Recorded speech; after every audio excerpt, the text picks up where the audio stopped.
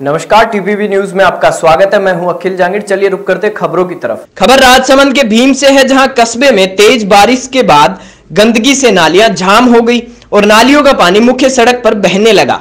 देखते ही देखते हाईवे पर दो फिट पानी बहने लगा और पाटिया ग्राउंड क्षेत्र में कई मकानों व दुकानों में पानी घुस गया।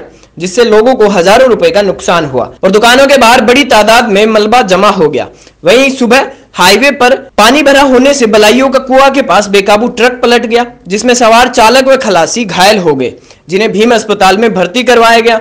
वहीं कस्बे की हालत देख भीम के समाज सेवी अमर सिंह के नेतृत्व में ग्राम पंचायत की टीम झाम नालों को ठीक करने में जुट गई। बुलेटिन में फ़िलहाल इतना ही, आप देखते रहिए टीपीवी न्यूज़।